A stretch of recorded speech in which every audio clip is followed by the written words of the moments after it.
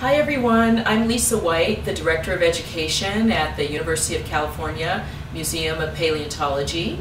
And we have you here at the Museum of Paleontology because I wanted to better illustrate some of the fossil zones in the virtual experience called Explore Fossils.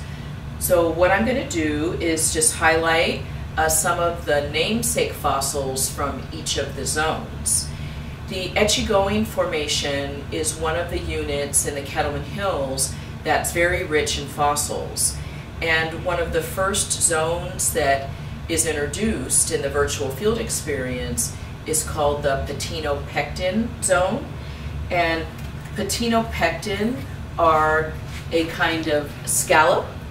So here's a shell, it's a, it's a bivalve, uh, and it has a distinctive shell uh, with these ridges that is easy to recognize. Sometimes when we find the shells, they might be broken, uh, as you can see with these, but there's enough of the, the features that are distinguishable that we know when we're in this zone.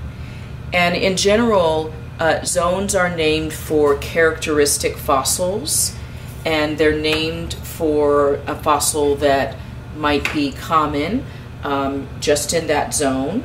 But there are other kinds of fossils that you usually find associated uh, with the with the zone. And so some of these might include this is a mussel shell. So Mytilus is the name of the genus. It's a kind of California mussel from five million years ago.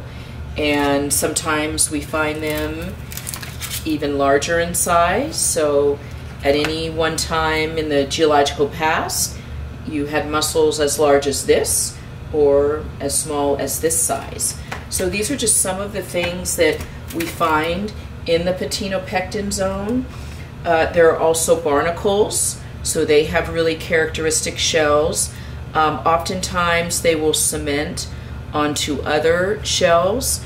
In fact, we have an example here of uh, barnacles that have attached to a larger patinopecten shell.